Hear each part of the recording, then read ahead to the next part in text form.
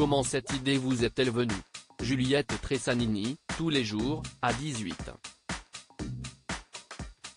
30, je fais des lives sur Instagram avec un invité, pour garder le contact avec les gens qui nous demandent sans arrêt quand la série va reprendre et leur donner des idées pour s'occuper pendant le confinement.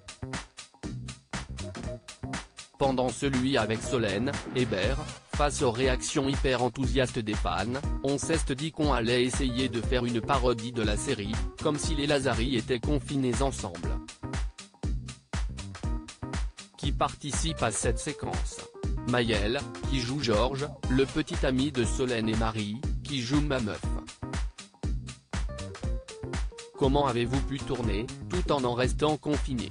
Solène m'a demandé d'écrire un texte, puis j'ai imaginé comment chacun allait devoir se placer autour de sa table, pour donner la sensation qu'on était ensemble et qu'on se répondait.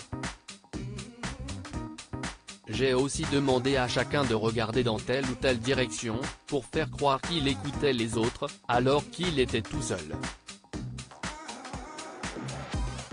Un gros big up à Solène, qui s'est quand même envoyé un verre d'eau à la figure, mais je ne vous en dis pas plus, regardez la vidéo.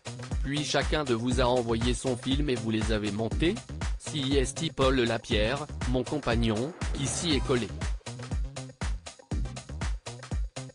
Et quand je vois les rushs qu'on a reçus, il y avait un peu de boulot. Cette parodie a-t-elle un titre? Elle s'appelle Demain CIST Confinement et elle est visible sur ma chaîne YouTube pour avoir la possibilité de la monétiser et reverser les bénéfices à l'association Merci Soignants. Chaque clic correspond à de la YouTube monnaie.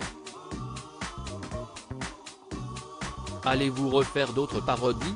J'adorerais, le problème si que les WeTransfer ont beaucoup de mal à passer pour envoyer les vidéos?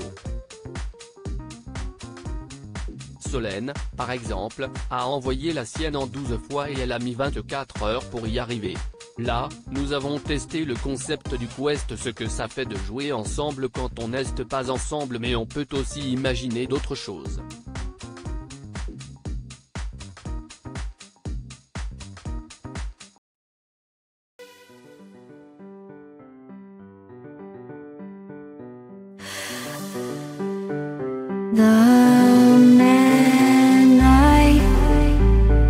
Love just had a heart.